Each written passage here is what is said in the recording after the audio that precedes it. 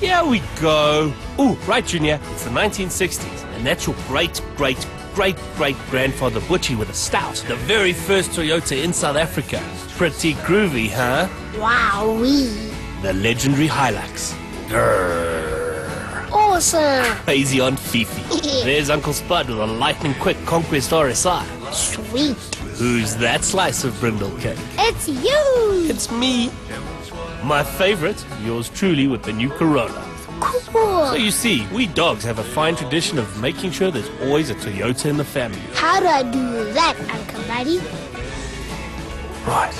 When you find a Toyota that you love, you get inside and you look at your owner like this. Now you drive. That's beautiful. Looks like the next generation is in great form.